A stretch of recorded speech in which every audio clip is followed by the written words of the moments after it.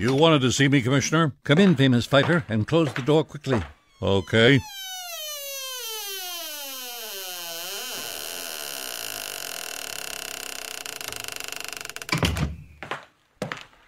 What, uh, Have you seen tonight's Midland City newspaper? no?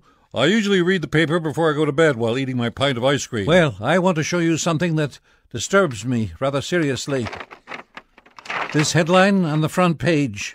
The mayor's word about Chicken Man. Oh, the mayor has a nice thing to say about Just read it.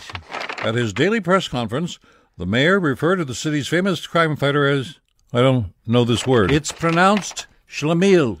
Schlemiel? What does that mean? You don't know? Um, no, I don't. I'm sorry. Well, Miss Helfinger says what? it's not good. The word is Not good. It's a bad, bad, bad word. yeah, but it's in the newspaper. That makes it bad, winged warrior, much badder. Well, why? Well, what does it mean? Well, it is a slur against your crime fighting ability. Why? What does it mean? Well, I had to ask Miss Helfinger. And sh- she knew? yes, she said it means that you, the most famous crime fighter the world has ever known, are a What? putz. What? Putz. A shlem put?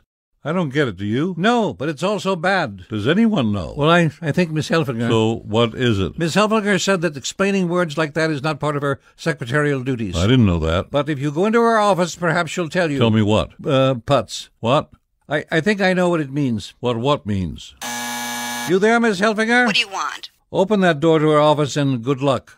Okie dokie.